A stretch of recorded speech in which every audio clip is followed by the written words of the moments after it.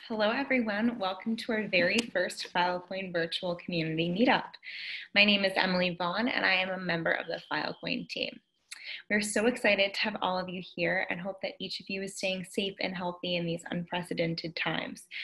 We are excited to have all of you joining us from around the globe, and we have a super exciting lineup today in which we will be hearing from some of our very own Filecoin team members regarding Filecoin testnet incentives, as well as how to create an unstoppable ecosystem. Additionally, we're going to be joined by Andrew Hill, the founder and CEO of Textile, a company that is building apps and tools on both the IPFS network and the Filecoin network.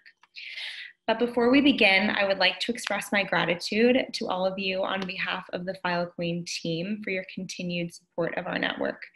Without all of your support of the brilliant community and ecosystem, our project would simply not be where it is today. So thank you.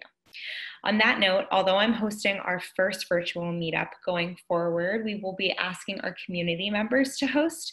So with that said, please visit our community tab on the new and improved Filecoin website to find a form in which you can apply to be a meetup host.